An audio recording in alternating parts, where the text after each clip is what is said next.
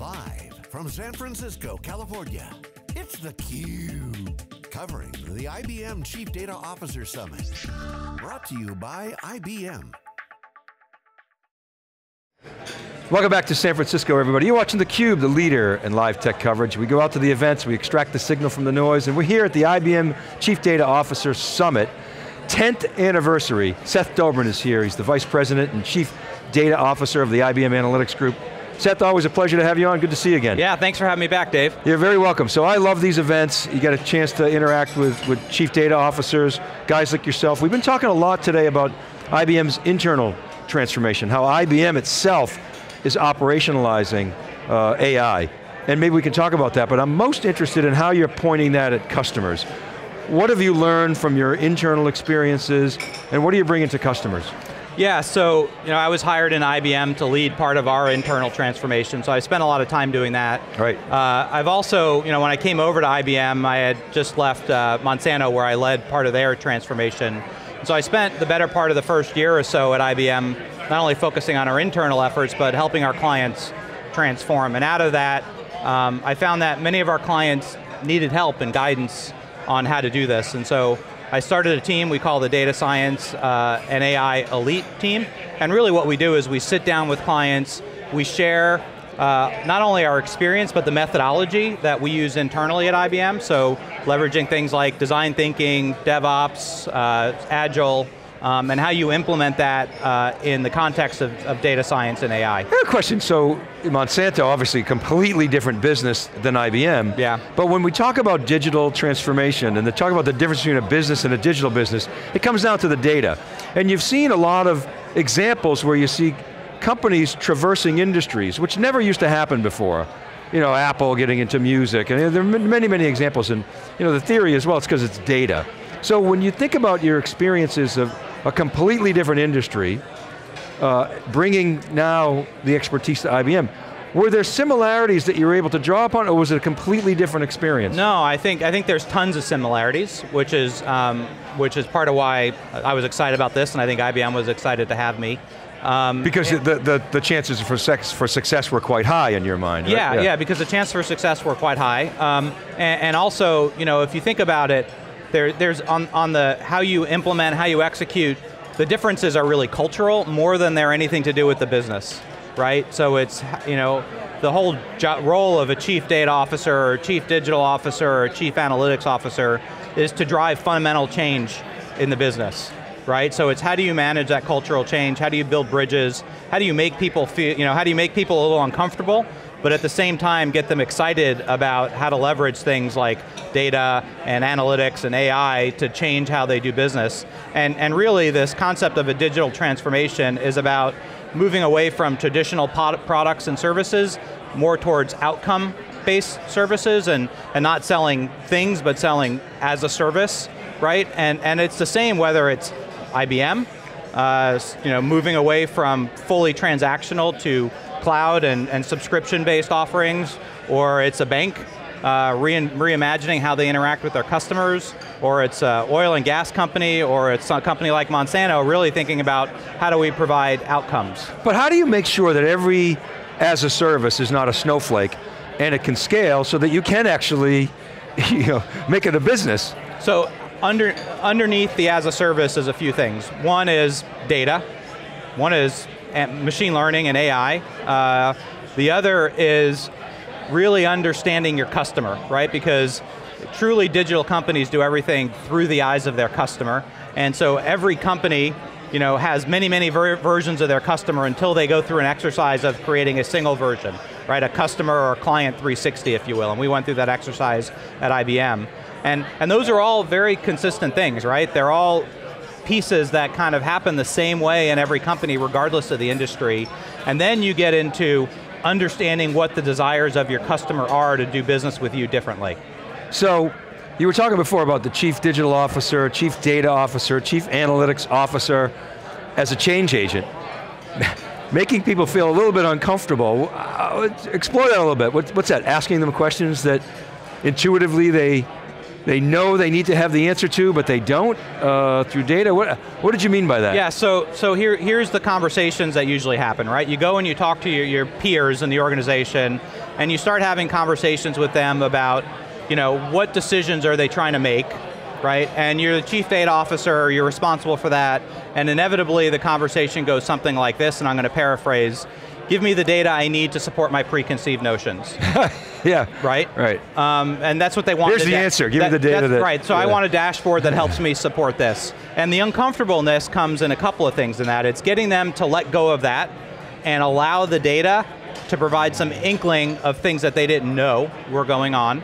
That's one piece. The other is then you start leveraging machine learning or AI to ha actually help start driving some decision. So limiting the scope from infinity down to two or three things and surfacing those two or three things and telling people in your business, your choices are one of these three things, right? That starts to make people feel uncomfortable um, and really is a challenge for that cultural change, getting people used to trusting the machine, or in some instances even trusting the machine to make the decision for you, or part of the decision for That's got to be one of the biggest cultural challenges because you've got somebody who's, let's say they run a big business, it's a profitable business, it's the engine of cash flow at the company, and you're saying, well, that's not what the data says. And, it- and, and, and you're saying, okay, here's a future path Yeah. for success, but it's, it's going to be disruptive. There's going to be a change, and I could see people not wanting to go there. Yeah, and, and, and if you look at, you know, to the point about, you know, even businesses that are making the most money for, or parts of a business that are making the most money,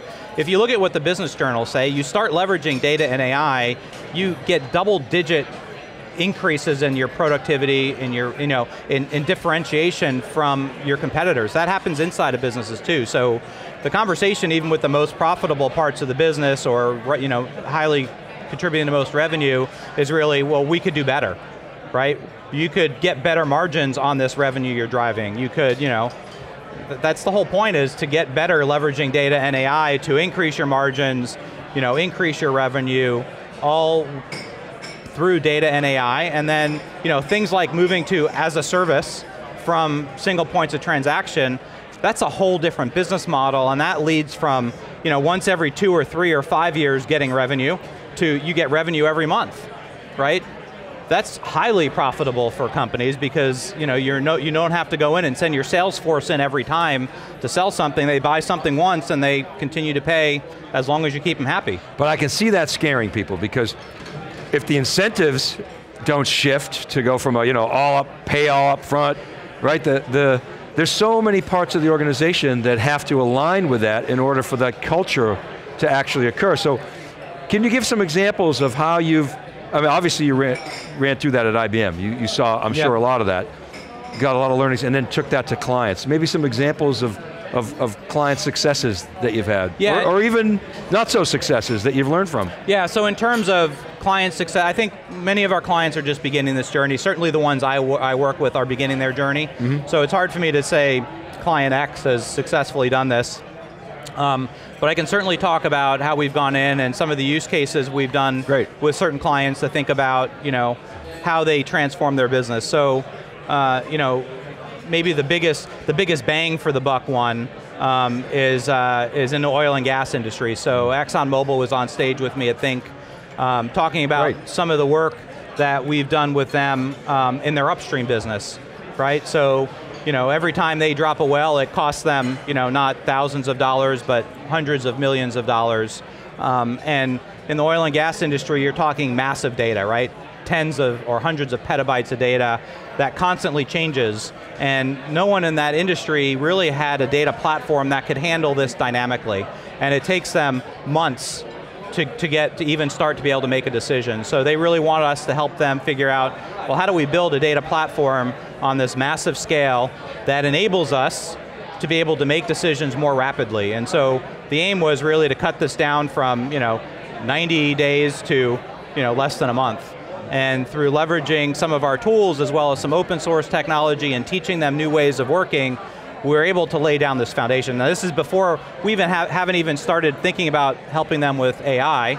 You know, oil and gas industry has been doing this type of thing for decades, but they really were struggling with this platform. So that's a big success where, at least for the pilot, which was a small subset of their fields, we were able to help them reduce that time frame, you know, by a lot to be able to start making a decision. So an example of a decision might be where to drill next. that's exactly the Yeah. decision they're trying to make. Because for years in that industry, it was, oh, no oil, boop, oh, no oil. Now, Well, now and they, it- and they, yeah. they got more sophisticated, they started to use data, but you're, I think what you're saying is the time it took for that analysis was So, so the long. time it took to even overlay things like seismic data, topography data, what's happened in wells and cores they've drilled, drilled around that, has, was really protracted just to pull the data together, right? And then once they got the data together, there were some really, really smart people looking at it going, well, my experience says here. And it was, it was driven by the data, but it was not driven by an algorithm. a little So- bit of art, too, yeah, a right? lot of art, Yeah. right? And it still is. So now they want some some AI or some machine learning, if you you know, to, to help guide